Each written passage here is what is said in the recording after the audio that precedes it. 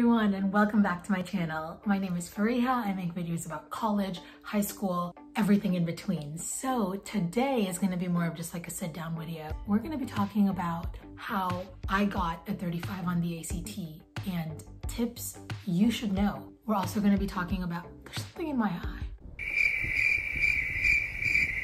We're also going to be talking about the difference between the ACT, the SAT, and how to pick which one is better for you. So let's get started. Okay, so first talking about the difference between the ACT and the SAT. Obviously, these are exams you take normally junior year, you could take them sophomore year, sometimes even in senior year, and they're basically really important for college admission. I will say, granted, that it's not as important as people put it to be. There's things that are more important, like your extracurriculars, your essays, things like that are more important. So keep that in mind while you're, you know, trying to study and trying to get the score you want. Obviously, everyone wants to do really well, especially if you're aiming for like Ivy Leagues, prestigious colleges like those, you really need to get as close to a perfect score as you possibly can. And even for state colleges, normally your scores can really impact your scholarship money. So, so it is definitely in your best interest to keep trying, you know what I mean? So the difference between the ACT and the SAT, they both play the same factor. Colleges don't really prefer one over the other, even though some people think, oh, taking the SAT is gonna look better. Not really. They don't prefer one over the other. So really just take the one which fits you better. So some main differences the ACT has a science section. Now, granted, the science section is not really based on your knowledge about science, which we will talk about in a little bit. It does help to be familiar with that topic. So if science is one of your biggest passions, if you're really, really good at science, maybe try the ACT. Also, the SAT, normally the English, is a little more advanced they ask you more to interpret things, where in the ACT normally it's more straightforward. So keep that in mind too if you're better at analyzing or if you're better at just kind of getting it done. You know what I mean? One of the things that people don't like about the ACT is the time. You get a lot more time per question on the SAT than you do the ACT. That's definitely one of the biggest challenges of the ACT is time management, being able to keep your time, make sure you're answering questions correctly, but also not taking too long. Like that's definitely one of the hardest things about the ACT. So if you're someone that really struggles with time management, maybe try the SAT. I think just for like a general overview, if you're more of a science and math person, try the ACT. And if you're more of a reading person, try the SAT.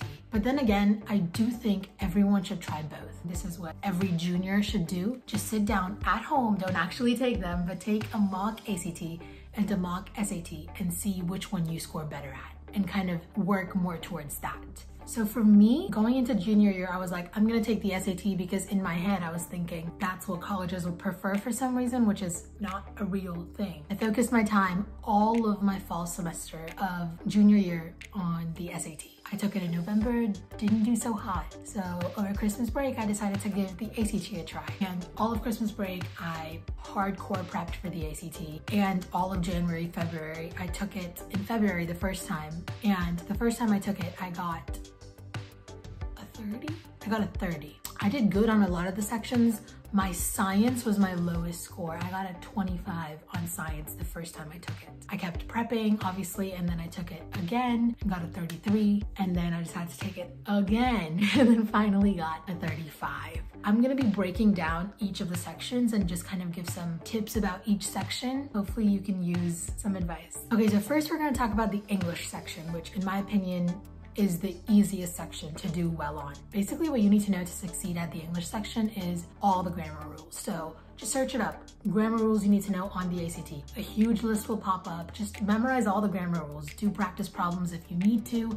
That's really the biggest thing on the English, just knowing your grammar rules. And if you know all them, then honestly, you might need to work on your timing a little bit, but it's not that difficult to do good on the English if you know all the grammar rules. Now let's talk about math. So math is definitely a section that people tend to struggle on. I think the math on the ACT is not that hard once you understand the type of problem. So in math, how the ACT is structured, it goes from 1 to 60, right? So the first 45 questions are generally easier and the questions get harder as you keep going. For me, I'd gotten to a point where I was getting the first 45 questions right and it was really those last 15 questions that were giving me a hard time. What you need to know is how to manage your time. So what worked for me, which obviously might not work for you, but give it a try. Start from the end, start from question 60 and work your way down. That really, really helped me because if I could get those hard problems done first, then by the time I got to the easier questions, like it was going like this. And even if I had less time, I was able to work through them quicker without stressing about the time. You know what I mean? So when your mind is fresh, just do the hard problems, get it over with, and then get to the easier problems. It's really important to understand the types of problems. So there's certain, I guess, patterns you could say that the ACT math problems are written on. And to recognize those patterns, you need to practice. For the math, the most important thing is practicing. Go online, search up quizzes, search up old tests all the way into the 1900s. That's what I did. And I just went through every single test, did all the math problems, or once I was a little more advanced, did the last 15 math problems of each math section. And once you do that multiple different times, you'll kind of get an idea and start seeing the different types of questions and you'll start understanding if it's asking you a question like this, how you're supposed to answer it. You know, you'll see a question and then you'll remember that, oh, I've done a problem like this while I was practicing, you know? So those things help a lot. The next is reading. So reading for me was a little bit more difficult to kind of improve my score in. For me, what works in reading is not reading the passage and going straight to the questions. Like literally not even looking at the passage, which I know some people like to skim over the passage and then go to the question. The thing with reading the passage before is that you're gonna gain a lot of different knowledge and information from the passage that you're not gonna need to know. And for me, that kind of like clouded my judgment. So it was easier to just go to the questions and based on what the question is asking, look in the passage. Now again, for reading, I think you just need to try out different methods, see what process works for you, skimming, reading the passage, not reading the passage, whatever it may be. I know some people like to annotate and do all that. For me, I did not annotate. Just try out different things, see what works for you. Timing was also an issue for me on reading. I really had to learn to not doubt yourself, which I think is really, really important. Normally, if you pick an answer on a question, you picked it for a reason. You know what I mean? So if you go back and you start doubting yourself and you're like, oh, it could also be C, it could also be D, just stick with the answer that you picked before. Unless you know for sure that like, oh, I made a mistake and it's C, not B. If that doesn't happen, don't double check yourself because I did that so many times and my first instinct was always right, but I would keep changing it because I would doubt myself. So don't do that. It's science. So I know a lot of people, again, really struggle on the science, but for me, science was, it was really interesting. So like I said, the first time I took the ACT, I got a 25 on the science. And the last time I took it, I got a 36 on the science. Like my grade literally jumped 11 points on the science section. And I think the biggest thing was changing how I was looking at the science section. When I first took it, I was thinking it's a science section. So I need to like look at the passages, try to understand what I can, and then go to the questions. Mm.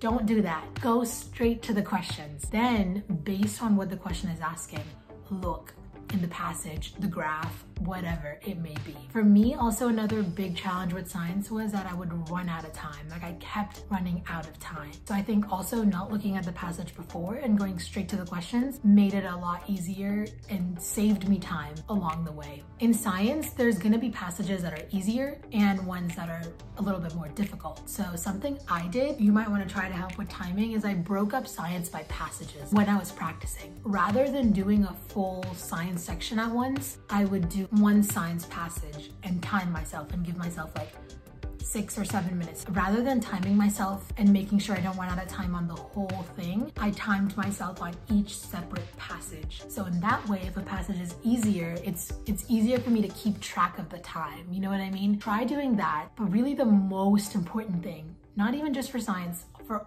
all of it is practicing. You know, the ACT is not an IQ test. It doesn't really matter how smart you are. It's more about how hard you work, how hard you practice, and how much time and effort you put into it. That's what you're gonna get out of it. You know what I mean? So organize your day. Every day, just do a passage if you can, you know, whatever it is you're struggling on, work on that subject. And I promise you, if you keep working, you will see results. If you're not, however, seeing results and you're just stuck and you don't know what to do next, I do offer tutoring services. I will attach my flyer linked in the bio down below, but you can reach out to me through my comments through a DM on Instagram, through whatever it may be. Just reach out as you can if you need help and I would love to help you in whatever it may be. So those were basically my quick tips for each section of the ACT. Again, there's so many more tips I can give you in detail, special help on a specific section. A lot of prepping is personalized based on what you're struggling on, things like that. So feel free to reach out, follow my socials linked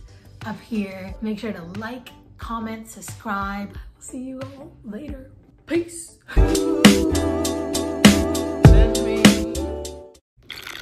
Hydrate or dihydrate.